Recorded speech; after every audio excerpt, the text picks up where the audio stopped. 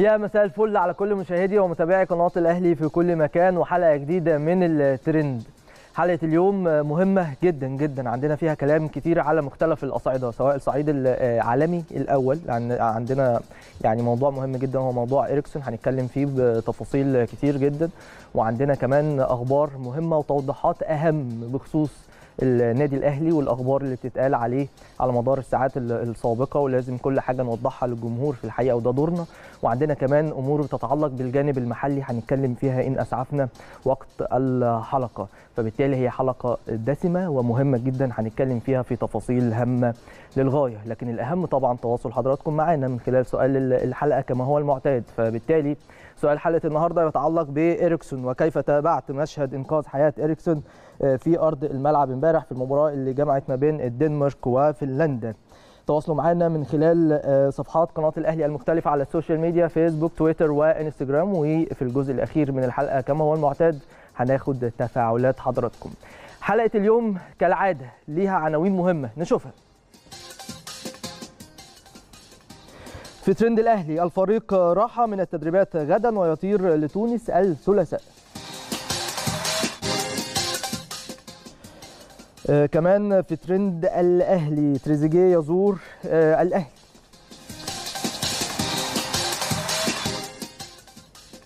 وأخيرا في الترند العالمي استقرار حالة اريكسون وغموض حول مستقبله. طيب النهارده في ماتشات مهمة جدا سواء تتعلق بمنتخبنا الأولمبي وأيضا ماتشات تتعلق باليورو وهنعرض لحضراتكم كل الماتشات المهمة دي النهارده بالتحديد.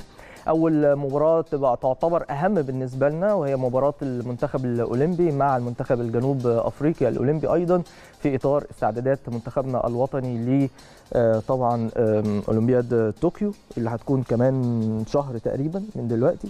فبالتالي هي مباراة مهمة وتاني مباراة خلال أيام قليلة جدا تجمع ما بين المنتخبين. المباراة الأولى انتهت بفوز منتخب مصر بهدفي مصطفى محمد. المباراة دي هتكون الساعة 7 بالليل.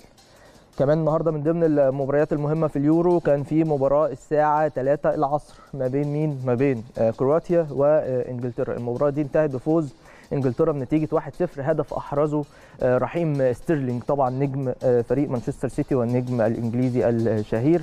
علشان تكون انطلاقة جيدة في مباراة كانت هي أقوى مباراة حتى الآن في اليورو نظرا لحجم واسم المنتخبين فبالتالي انطلاقة جيدة بالنسبة لإنجلترا. المباراة دي بالمناسبة كمان شهدت إصابة هاري كين بعد اضاعته لفرصة كانت ذهبية.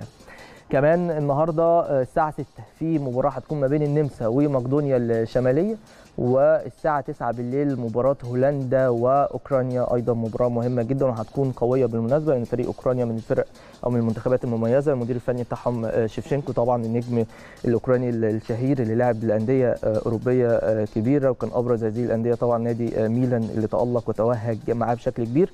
بخلاف طبعا أن هولندا ليها عشاقها وجماهيرها في كل مكان فأكيد هتبقى مباراة مهمة كمان من ضمن المباريات النهارده هتنطلق كوبا أمريكا. أولى المباريات هتكون ما بين البرازيل وفنزويلا وأيضا المباراة الثانية هتكون ما بين كولومبيا والإكوادور الساعة 2 صباحا.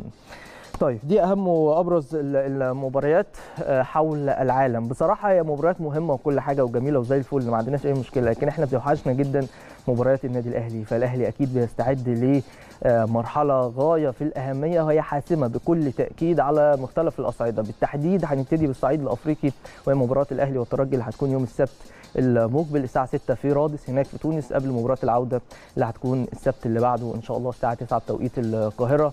بإذن الله الأهلي يكون موفق في مجموعة المباراتين ويتأهل للمباراة النهائية عشان ينتظر الفائز من الوداد وكايزر تشيفز. الفرص طبعا الوداد أعلى. بس إحنا بناخد خطوة خطوة والأهلي وحشنا هنشوفه إن شاء الله يوم السبت. بس مهم كمان قوي قوي إن إحنا نطمن على أخباره. تفاصيل كتير جدا هتكون معانا بس بعد الفاصل. يلا بينا.